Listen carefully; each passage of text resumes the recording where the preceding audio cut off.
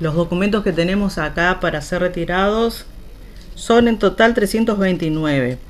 De masculinos mayores, 239 y 90 de las eh, mujeres, ¿no? Eh, femenino sería lo correcto. Así que bueno, los esperamos el día sábado y domingo en horarios corridos, desde las 8 de la mañana hasta las 18 para poder eh, entregar los DNI. Así que las personas pueden venir con las constancias del trámite que hizo para retirar. Por ahí alguno perdió, que traiga algo que le pueda identificar, su documento que viejito que por ahí tiene guardado, algo que le identifique, un carnet.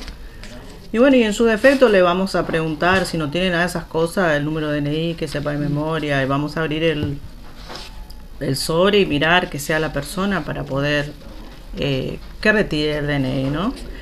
Y también quiero aclarar, en algunos casos hay personas que hicieron reciente el cambio de domicilio y por ahí no vino todavía o por ahí ya vino el DNI. O sea que van a votar con el último documento siempre se vota, ¿no? Pero en, en este caso, si por ahí este, pueden votar también con el que figura en el padrón, porque ese es el que figura, entonces, como ya no se hicieron los nuevos padrones, por supuesto no van a ser para las personas que hicieron en estos días cambio de domicilio, pueden votar con el documento que figura en el padrón, solamente para esos casos, no para trámite porque ya queda, el documento queda inhibido, de, la persona terminó de hacer el, cambio de domicilio, el nuevo ejemplar, ya su documento anterior queda anulado.